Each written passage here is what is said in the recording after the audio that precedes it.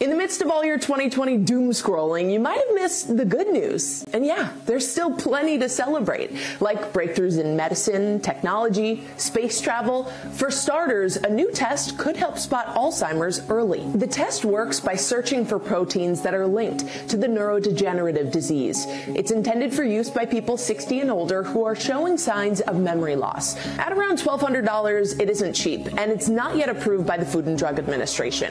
But even if this test reveals a low likelihood of Alzheimer's, it could allow doctors to rule out other potential causes of memory loss and allow patients earlier admission into clinical trials. Next up, a breakthrough in gene therapy. Around 100,000 Americans live with sickle cell disease, with people of African descent more severely impacted. Previously, it could only be treated through rare and complicated bone marrow transplants. But now, thanks to genetic treatments like CRISPR, hematologists believe they can repair the genetic mutation that causes the deformed blood cells. The female scientists who discovered that therapy, CRISPR, they received a Nobel Prize in chemistry this year. Although this gene editing technology has raised questions and sparked controversy about how it could be misused. Comes to our planet's health, researchers at the UK's Centre for Enzyme Innovation and Colorado's National Renewable Energy Laboratory have engineered a super enzyme that can break down plastic up to six times faster than the previously discovered plastic eating bacteria. Now, that could seriously help offset the negative effects of our planet's plastic addiction.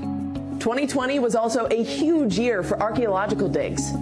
Archaeologists in Saqqara, Egypt uncovered over 150 mummies and artifacts that hadn't been unearthed in 2,500 years. And new evidence shattered our understanding of how the first humans arrived in North America nearly 20,000 years ago.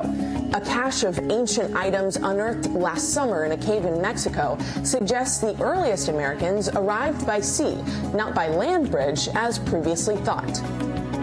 From the very beginning to the final frontier, 2020 also shook up the space race.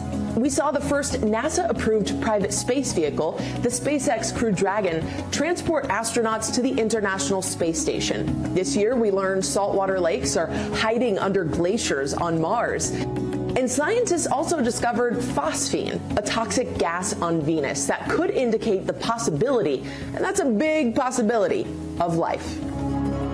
And the biggest breakthrough of them all, the COVID 19 vaccine. It was developed with unprecedented speed and unparalleled coordination between government institutions and the private sector worldwide. Although it didn't feel like it in 2020, life on Earth is getting better in a lot of ways. And that's something to smile about.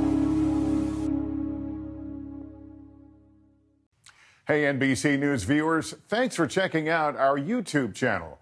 Subscribe by clicking on that button down here and click on any of the videos over here to watch the latest interviews, show highlights, and digital exclusives.